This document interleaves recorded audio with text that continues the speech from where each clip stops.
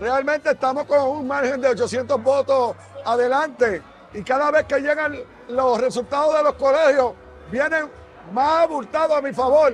El pueblo ha reconocido que yo y mi administración le hemos dedicado la vida a la transformación que todo el mundo reconoce y ha rechazado el peligro que este señor sería si llegara a Dorado después que no lo querían en San Juan, no lo querían en Puerto Rico y obviamente